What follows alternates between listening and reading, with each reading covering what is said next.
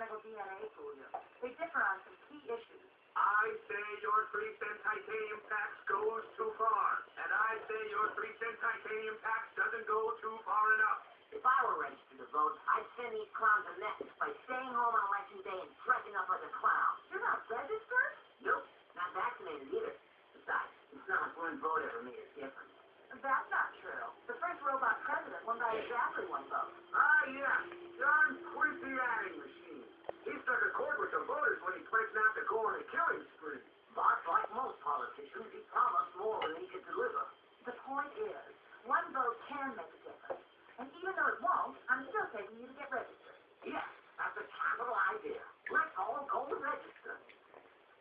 Professor, when did you become so obsessed with voting?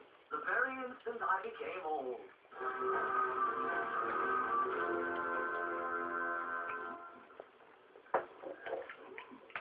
The problem with both parties is that they always want to give their tax dollars to the less fortunate. The less fortunate get all a break.